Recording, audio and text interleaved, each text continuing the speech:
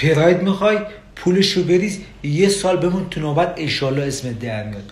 آها چرا تو کرمان به کارمنده های حج و زیارت ماشین دادن شاسی بلند زیر قیمت قسطی فیلم مجلس بدون نوبت؟